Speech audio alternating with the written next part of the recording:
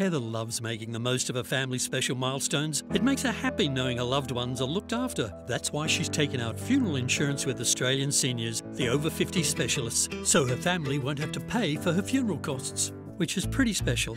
Right, Heather?